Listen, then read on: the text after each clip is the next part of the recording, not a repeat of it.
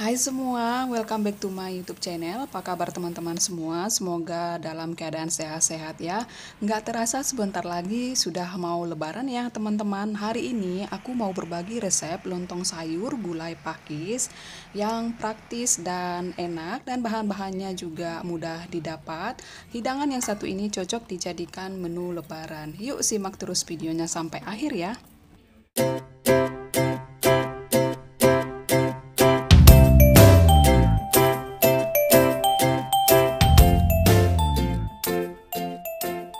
Bahan-bahannya di sini aku sudah siapin uh, daun pakis ini sebanyak dua ikat ya teman-teman dan ini udah aku cuci sebelumnya. Tiga biji lontong daun ini udah aku beli jadi dari pasar ya teman-teman. 500 ml santan segar dan 30 ml minyak sayur.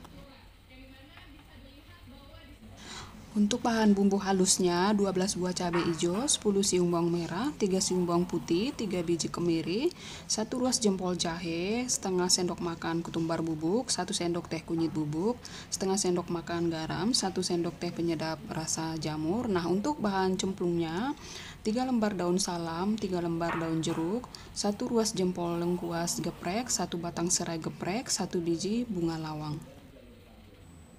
Nah, untuk bahan bumbu halusnya aku akan masukkan ke dalam chopper. Lalu ini nanti akan aku haluskan memakai chopper ini ya, teman-teman. Nah, kalau teman-teman mau pakai uh, blender atau mau diulek juga boleh ya.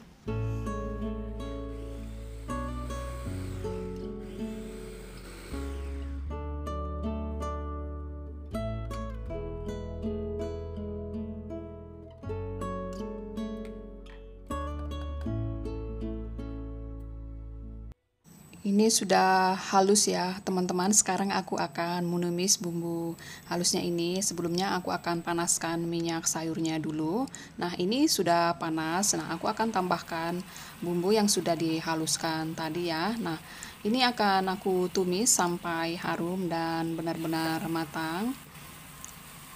Kita aduk-aduk sampai tercampur rata ya teman-teman Nah, aku akan masukkan bubuk ketumbar dan bubuk kunyitnya ya. Nah, ini uh, diaduk sampai tercampur rata ya, teman-teman.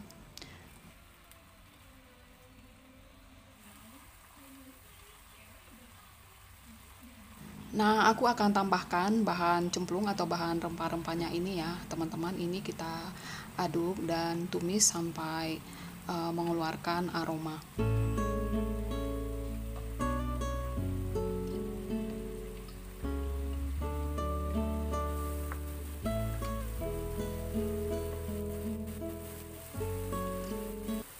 Nah, ini bumbunya sudah harum dan matang. Sekarang aku akan tambahkan uh, 500 ml air dan juga santan segarnya ya, teman-teman. Ini nanti kita masak ya sampai mendidih sambil diaduk-aduk supaya santannya ini tidak pecah-pecah ya.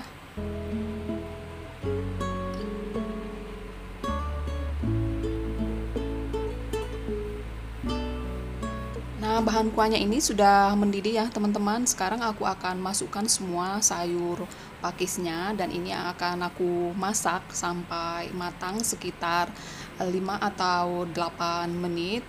Uh, kalau untuk masak uh, daun uh, pakisnya ini jangan terlalu lama ya, teman-teman, karena kalau terlalu lama nanti cepat kuning. Nah, aku akan tambahkan garam dan penyedap rasa jamurnya. Nah, ini aku aduk sampai tercampur rata ya. Gulai sayur pakisnya ini tidak terlalu pedas ya, teman-teman. Nah, kalau teman-teman mau yang pedas, boleh ditambahkan dengan cabai rawit ya, sesuai selera. Nah, aku akan tambahkan satu sendok teh garam lagi ya, teman-teman, karena tadi pas aku cross check rasa, rasanya ini belum uh, kurang garam sedikit lagi ya, teman-teman.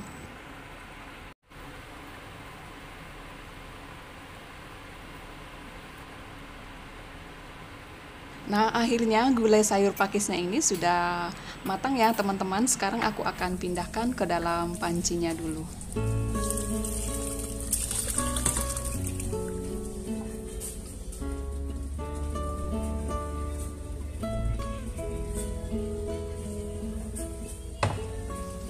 Nah, sekarang aku akan sajikan lontong gulai sayur pakisnya ini ke dalam piring saji ya, teman-teman. Nah, untuk bahan isiannya aku akan tambahkan satu butir telur rebus dan uh, kerupuk bawang. Nah, untuk kerupuknya ini terserah mau kerupuk apa aja ya, teman-teman. Dan aku akan beri secukupnya uh, bawang goreng.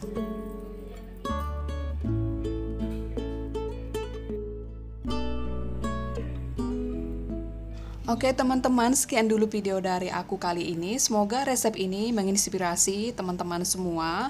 Buat teman-teman yang baru bergabung di channel ini, di subscribe dulu supaya teman-teman tidak ketinggalan dengan video menarik lainnya. Bye-bye!